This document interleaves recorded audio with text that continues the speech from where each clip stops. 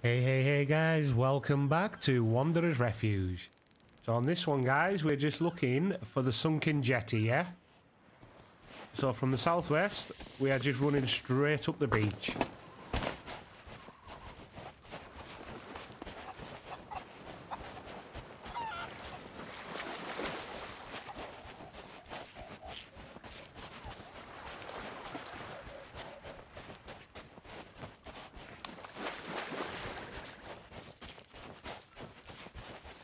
Then when you get up here, guys, you want to run through that tunnel straight ahead over there, yeah?